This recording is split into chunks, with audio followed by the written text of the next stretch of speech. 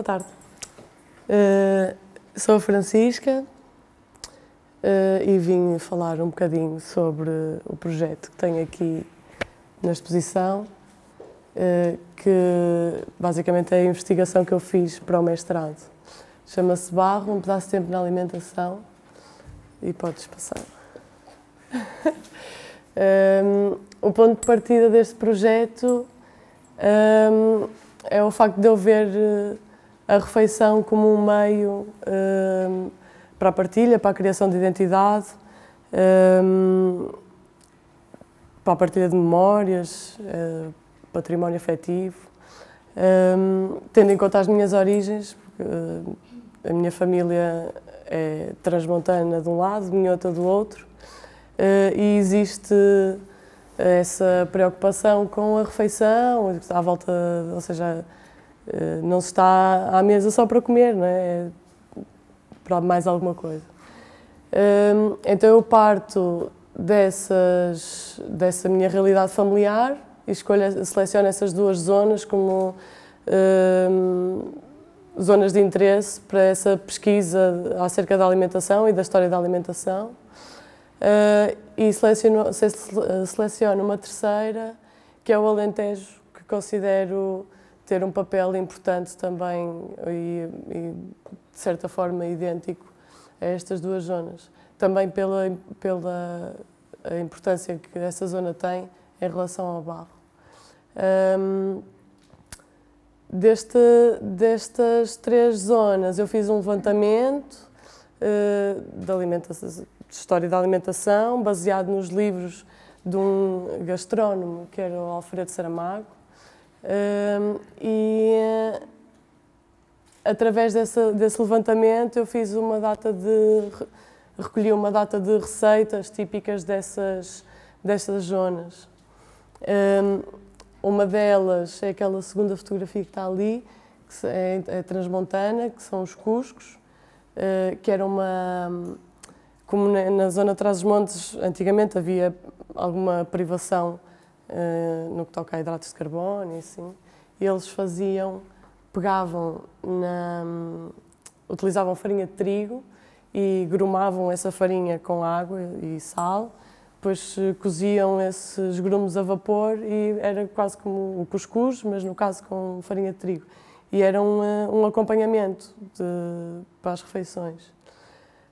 Um, depois, na zona do Alentejo, também encontrei uma, pode-se chamar receita, eh, que é o vinho de talha, que é um vinho que é produzido, é feito cá nesta zona. Desde a altura dos romanos, é uma técnica de produção de vinho muito simples, eh, que passa só por uma fermentação, em que se usam as talhas de barro, eh, algumas 200 litros ou até 1000 litros, em que se põe, basicamente põe-se tudo lá para dentro e uh, todos os dias se mexe uma vez pelo menos. Pronto, depois, passado um mês, tem-se vinho pronto a beber.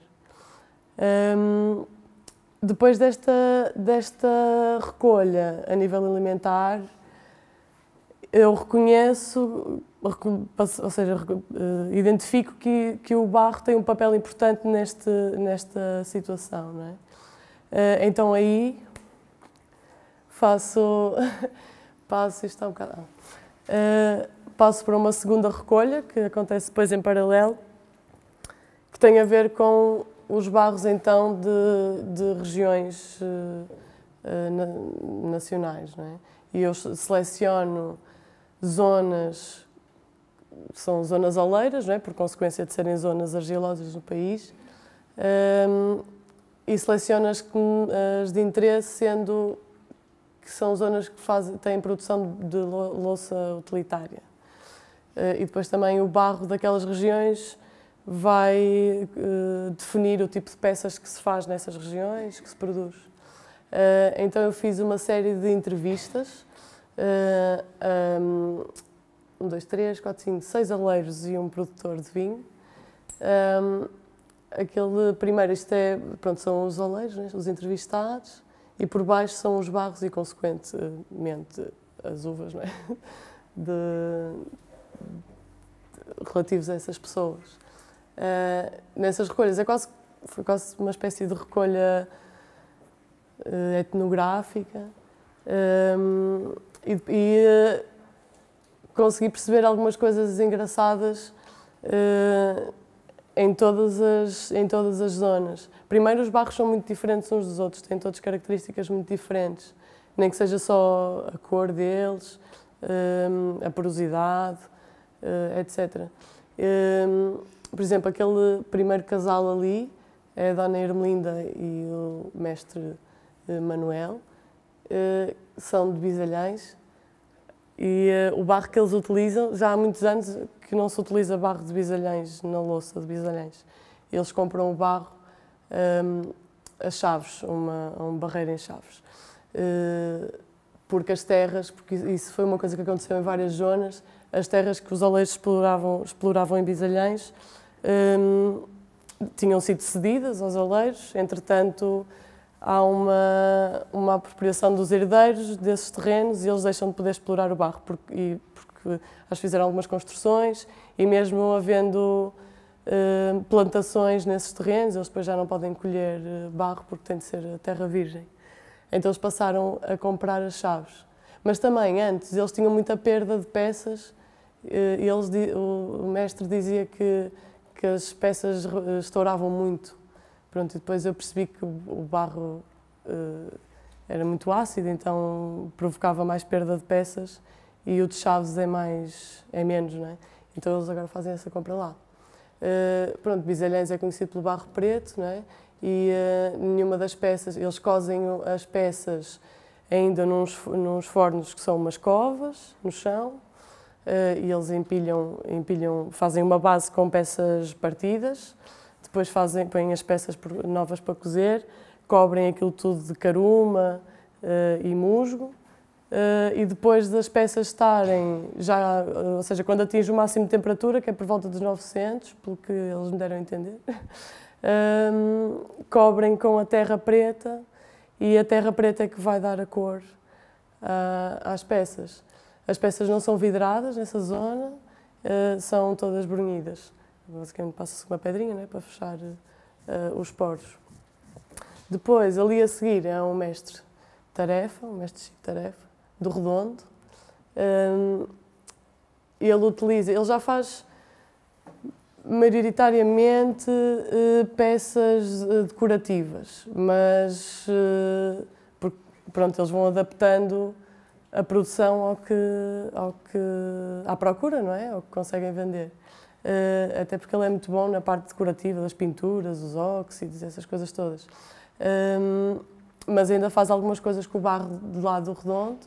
Ele mostrou-nos até algumas peças. Uma das peças que eles mais faziam na zona do redondo eram as panelas, que é aquela pecinha que está ali na roda, uh, que levavam, os trabalhadores levavam para o, para o campo, às vezes com a com uh, o almoço e faziam.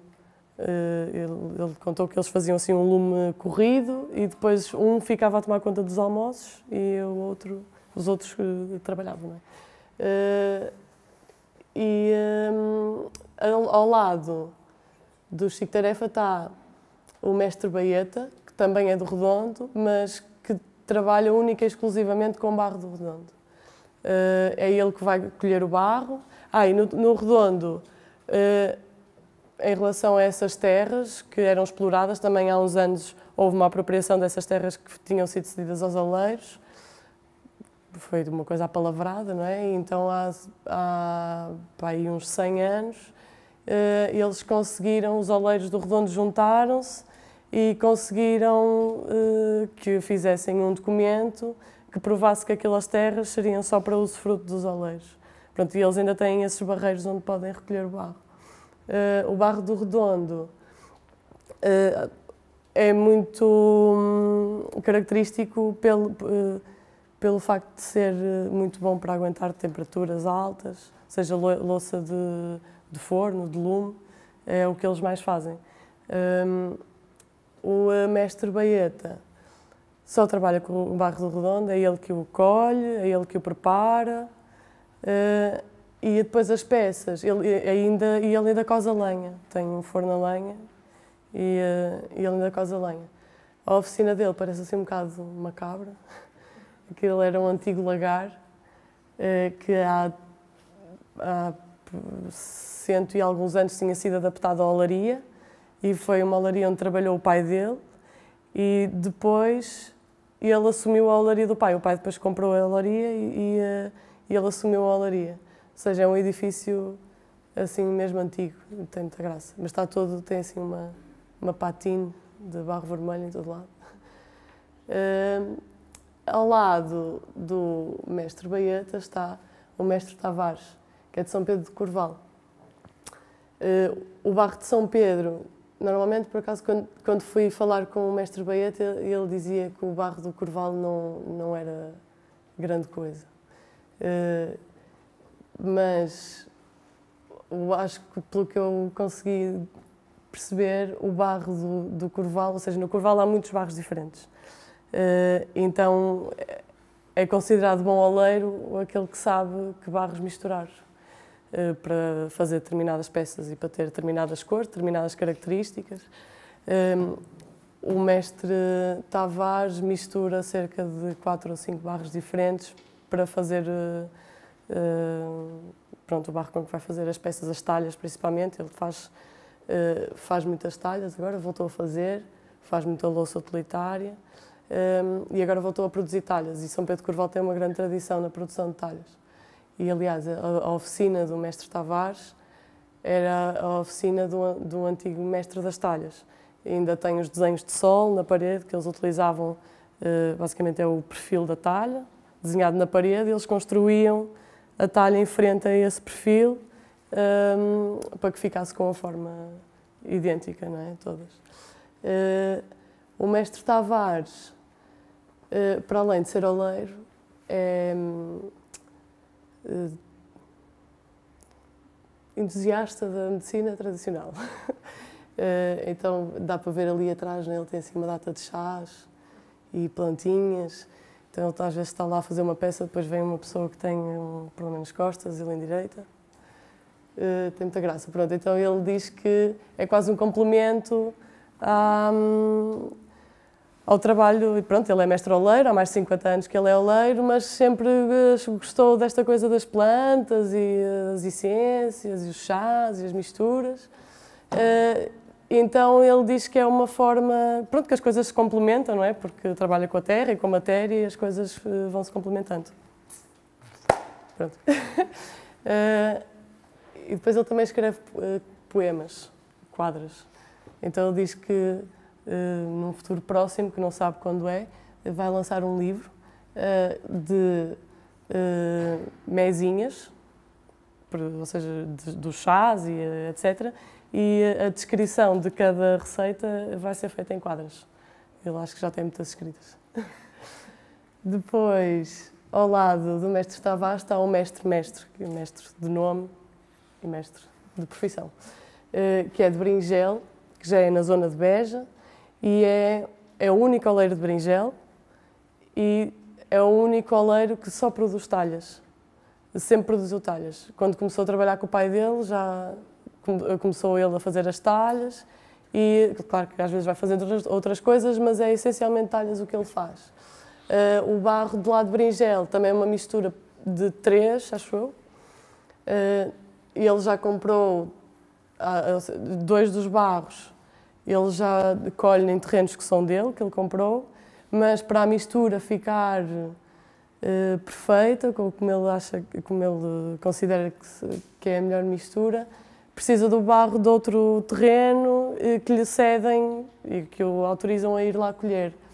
Eh, mas depois a mistura, pronto, ele, eles já fazem isto há tantos anos que a descrição dele é, é um bocadinho deste, mais 25% do outro, mais 5% do outro e vai dando, pronto. Uh, e ele também faz, é ele que vai colher o barro, que faz a preparação do barro, uh, trabalha sozinho na olaria, é só ele. Uh, não sei muito bem como, porque ele faz talhas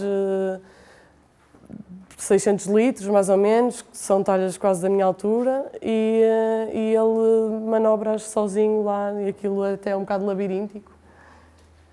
e cose também a lenha, faz as cozeduras a lenha também. O, o mestre Tavares também tem o forno a lenha, apesar de utilizar mais, mas pronto, para as talhas utiliza o forno a lenha porque elas não cabem nos fornos a gás.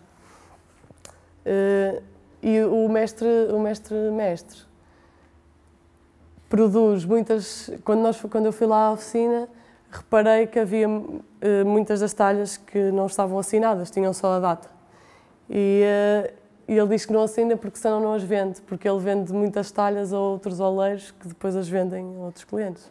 Pronto, então ele não assina porque senão não as compravam, não é? Porque iam saber que não tinha sido outro oleiro a fazer. Uh, depois, a seguir, está o António Honrado, que é dono de um restaurante em Vila de Frades, que é também na zona ali de Beja, que é o País das Uvas. E o restaurante dele, ele é produtor de vinho de talha e o restaurante dele é a adega dele. Uh, funciona tudo no mesmo sítio, ou seja, na altura das vindimas o restaurante passa a ser uma adega. Uh, e às vezes é, é as duas coisas em simultâneo. Uh, e ele tem lá talhas de 1800, e, acho que a mais antiga é de 1863, acho eu. Ele tem talhas de mil litros. Um, ehm, e ele faz, eu fui lá, ele explicou-me essa tal produção do vinho de talha, uh, que era o que eu estava a dizer há bocado, que é uma técnica já com, com já vem da altura dos romanos, e basicamente eles, eles fazem a vindima, separam o engaço, que é o esqueleto da uva, do resto, esmagam tudo, uh, põem tudo para dentro da talha, menos o, o esqueleto, né? Depois mexem pelo menos uma vez por dia para quebrar a manta que as películas criam no, no topo da talha e que, não vai, que pode fazer com que a talha rebente com a pressão da, da fermentação. Esta fermentação acontece durante 15 dias. Na última semana não se mexe mais para o mosto assentar a talha, depois no fim, tem um, uh, o que eles chamam o batoque, que é depois onde eles inserem a torneira. Uh, e o próprio mosto vai servir de filtro ao vinho. No caso, ele faz duas fermentações, porque ele já faz uma produção considerável, então faz uma segunda fermentação, que é a fermentação malolática, que ele acrescenta ácido láctico para não, para não oxidar o vinho com tanta facilidade. Um, mas pronto, é só essa primeira fermentação é suficiente para, para ter vinho. Depois, aqui o por último é o, o mestre Pequito, de Nisa, uh, que já é quase na linha horizontal das Caldas, é Alto Alentejo. Uh, e a olaria nisense, hoje em dia, na verdade, é mais decorativa, mas eles, eles continuam a produzir o mesmo tipo de peças, cântaros, uh, copos, jarros, mas consideram que é louça decorativa. Uh, no entanto, a história da Olarianizense tem a ver com objetos de transporte e, e eh, armazenamento de água, porque o barro de Nisa, que também é uma mistura de dois barros, dois barreiros de lamas que estão cedidos aos aleiros, um, o barro de Nisa é muito poroso, então ajuda a refrescar a água e o mestre Pequito dizia que para, para o lume não dá, o barro de Nisa não dá para, para lume, para chama direta, mas pegando num litro, de, vá, numa quantidade de água a ferver, metendo dentro da, da, do, dos potes, que passado um bocadinho a água estava fresca e que continuava fresca.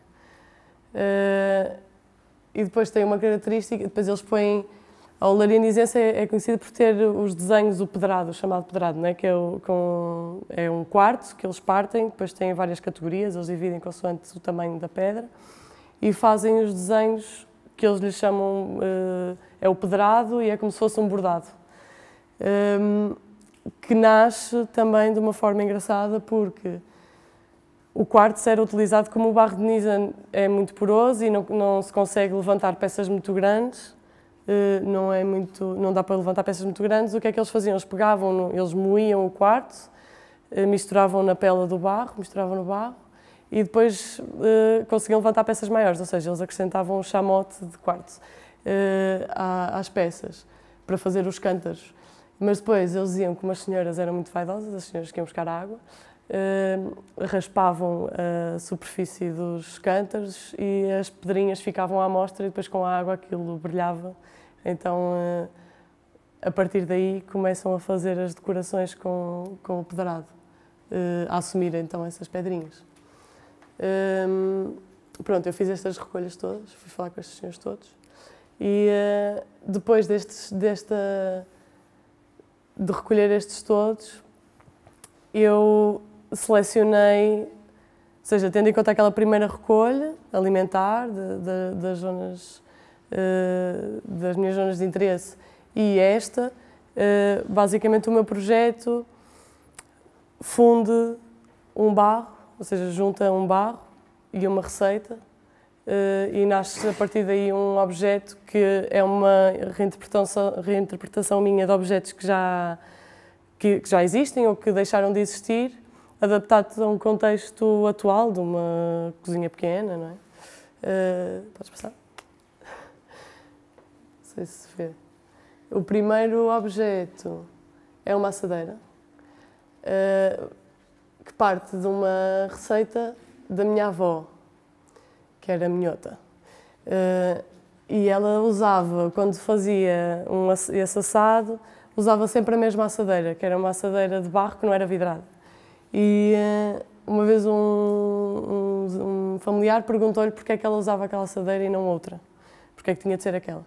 E ela, acho que disse que hum, usava aquela porque se usasse outra, um pirex ou ou uma forma de alumínio, que a comida cozia e depois secava e só ia caçava. E, uh, enquanto que se usasse aquela de barro, que o processo completo era assar. Então eu peguei nessa história uh, e criei uma assadeira, que aqui não sei se dá para perceber muito bem, mas ela depois está ali, podem observar. Uh, tem uma, uma altura no meio, uh, e que então cria duas zonas de hidratação no assado. E que a carne, que é então a parte que se quer mais uh, seca, tendo em conta, ou seja, quer-se hidratar à medida que, que se acha necessário, uh, não fica em contacto direto com o molho, que fica então a hidratar os acompanhamentos, as batatas e essas coisas todas. Esta, esta assadeira ela é brunhida por dentro, um, e é feita no barro do redondo, por ser então um barro uh, que se adapta uh, às grandes temperaturas. Um, e é isso. Podes passar. Depois, este, este objeto é uma cuscuzeira, que parte daquela receita que eu tinha falado há bocado dos cuscos. Uh, no processo de, de de cozedura dos cuscos, eles cozem aquilo a vapor numa cuscuzeira, que é um objeto em metal agora, é quase um funil com uns furos que eles encaixam naquelas panelas de três bicos. Um, e depois põem um pano e aí põem os, cuscos, os cuscos por cima. Uh, e antigamente as cuscuzeiras eram feitas em barro e, uh, e eu baseei-me uh, eu fui ver a receita num, numa, numas entrevistas de um site de recolhas que é o Memória Média uh, e, e, a senhora diz no vídeo que os oleiros deixaram de as fazer e passaram os latoeiros a fazer. Pronto, foi essa a razão. E eu peguei nesse objeto e adaptei, ou seja, é, é um objeto para cozer a vapor, que se adapta a várias panelas, é uma forma muito simples, é uma meia calota. Um, que utiliza o barro de Nisa e eh, que o próprio barro, sem furos, tendo em conta a sua porosidade, permite a cocção a vapor. Um, neste caso são os cuscos, eh, mas também consegui cozer brócolos. Eh, todas as técnicas que eu utilizei, só assim à parte. Ou seja, idealmente, estas peças seriam produzidas pelos oleiros que trabalham com estes barros porque têm mais anos de trabalhar esse barro do que eu de vida. Um, mas como a logística não era muito simples, não é? entre Nisa, uh, São Pedro Corval e Redondo, uh, eu recolhi esses barros e fiz eu as peças, os objetos. Mas tentei utilizar técnicas que eu sabia que esses oleiros eram capazes de reproduzir. Neste caso isto é feito em lastras e a outra peça também e depois até está ali a, a, a, deformação na base da talha é feita com, com panos só. Podes passar. Depois temos aqui o terceiro objeto, que é uma talha para produção de vinho. Uh, é uma talha de sensivelmente 10 litros, uh, o que dá pelo menos 5 litros de vinho, uh, dependendo depois das uvas, não é? mas basicamente eu tentei que o processo fosse todo feito no mesmo, no mesmo objeto, porque eles no, na, as pessoas que fazem produção de vinho de talha têm umas ripadeiras uh, em que eles uh, passam lá as uvas e é aí que esmagam as uvas. No caso, uh, eu criei este objeto com o barro de São Pedro Corval, por ter essa, por ter essa tradição de produção de talhas. Um, e como eu queria que todo o processo fosse feito dentro do mesmo objeto, a parte de amassar, etc., eh, acrescentei estas partes de madeira, o maço e a, pronto, a torneira eh, já lá está. Eh, e decidi que seria, faria, faria sentido fazer numa madeira que não que estivesse familiarizada com o vinho, não é? Então, todas as partes de madeira são feitas em carvalho eh, francês, eh, porque existe uma diferença entre o francês e o português. Porque uma grande parte dos pipos de vinho são feitos em carvalho francês. Eu achava um bocado estranho porque temos muito carvalho cá e uh, podiam ser só feitas em carvalho português. Uh, mas existe efetivamente uma diferença na, na, dos dois tipos de madeira em contacto com o vinho. Um, o carvalho português acho que torna os vinhos mais difíceis, mais ácidos, e o carvalho francês não tem tanta influência uh, na parte de, pronto, de fermentação e estágio do vinho.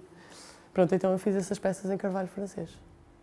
E, e pronto, é o processo que eu tinha explicado há bocado, pôr as uvas dentro da talha, uh, esmagar as uvas, uh, depois tem a tampinha e eles põem normalmente um paninho por cima, só para evitar Pronto, a tampa não está, não está completamente selada, não é? ela pousa só e tem eh, aquela parte do buraco da, do maço.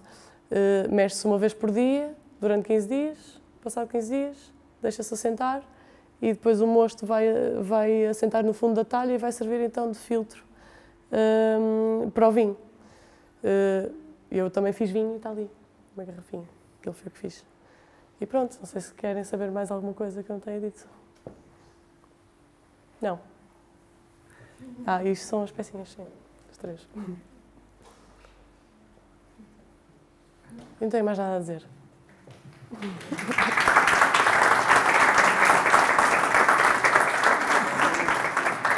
Gracias.